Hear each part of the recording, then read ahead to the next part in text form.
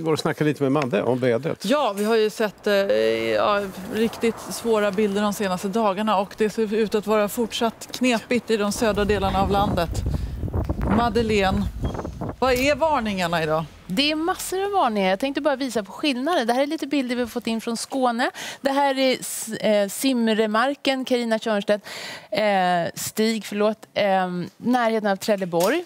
Sen har vi fått en bild i närheten av Lund. Där ser det ut så här, inte alls särskilt mycket snö. Och sen Lomma, då ser det ut så här. Så skåningarna har fått sin beskärda del, precis som många andra längs hela Östersjökusten. Men kan du förklara det? För jag läste någon som sa ja men i Landskrona var det ingenting och så var det... Ja. ja. Jag ska Vad göra det det. För titta här nu då. Om vi går vidare.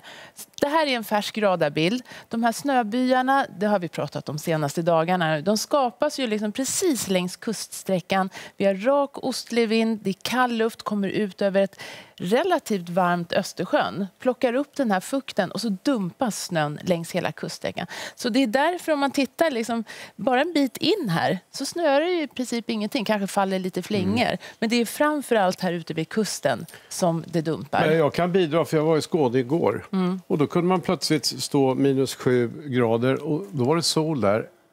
Tre sekunder senare så Ja. kom det ett snömoln rätt i De plitet. kan ju vara väldigt lokala de här snöbyarna. Det är som stråk som bildas. Ja, det var otroligt lokalt. Ja, alltså. det är som 100 stråk. meter. Och det är därför det är så svårt att säga att de- de kommer komma exakt här och inte där. Utan man går ut med varningar hela sträckan där det ser ut att bli som mest besvärligt idag. Då. Så det är från Östergötland och vidare söderut ner över Skåne.